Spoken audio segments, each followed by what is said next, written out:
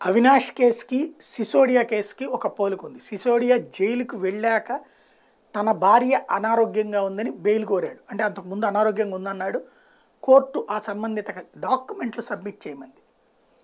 ఆ డాక్యుమెంట్లు సబ్మిట్ చేసినప్పుడు అవి సివియర్ కాదని తేలటం అందులో పాయింట్ ఉందని తేలడంతో అంటే వాళ్ళ బంధువులు వాళ్ళ ఇంట్లో వాళ్ళు ఉన్నారని తేలడంతో కోర్టు ఆయనకి ఇవ్వలేదు.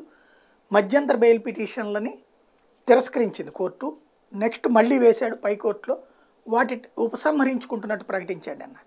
అంటే కోర్టులోనే అడిగారు మా ఆవిడ ఆరోగ్యం కుదుట పడిపోయింది ఇంక అక్కర్లేదని ఎందుకంటే ఆ డాక్యుమెంట్ల ఆధారంగా తీర్పిస్తే కనుక దొంగ కారణాలు చెప్పి తప్పించుకోవడానికి చూస్తున్నాడని చెప్పేసి కొట్టివేసే అవకాశం ఉంది. ఇక అప్ప ఇప్పట్లో బెయిల్ రా.